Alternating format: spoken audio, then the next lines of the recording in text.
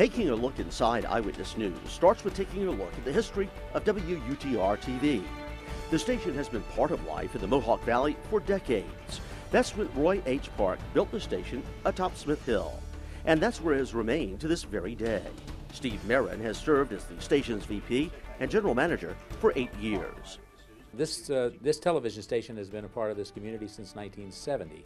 And in uh, 2003, they shut the news down, and we were fortunate in 2011 to bring it back under the Eyewitness brand. And every day we work as hard as we can to make sure that we're worthy of being in your home. As both a concept and a name, Eyewitness News has been around for a long time, since 1965 to be exact. It really represented a change from the way news was gathered and reported, from film to attire technology, videotape. Also, it represented a different approach editorially. Not just news releases and handouts, but actually reporters as witnesses to news events who would then bring that news directly to you. And that's what we continue at this Eyewitness News to this very day. Brett Hall produces Eyewitness News at 6 and 11. We are the story through a, through first person's eyes. We, we like to get that, that story that sparks a community interest we want to tell it in a sense that it's through a person who's either living it or a, wit a witness, an eyewitness.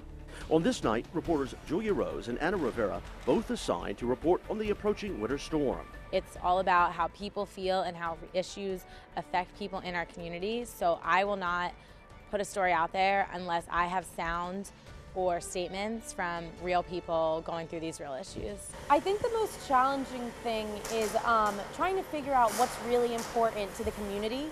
Um, we do so many stories daily that I think sometimes it, you don't want to lose focus on what's really important to the to a person who just lives here and just works here and what's a, what's the, the key issue going on in the area. After collecting their interviews, both reporters returning to the newsroom to write and prepare their stories. That includes consulting with director Matt Barbuto, who will literally push the right buttons at the right time to put both Julia and Anna on the air. But tomorrow morning, it won't be me in one of these seats. It'll be one of the many that'll be out.